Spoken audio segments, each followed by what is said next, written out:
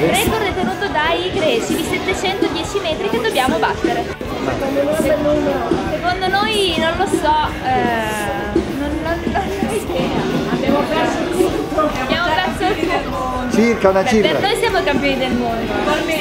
Comunque, indipendentemente dai metri. 2000 bombolette circa 450 ragazzi.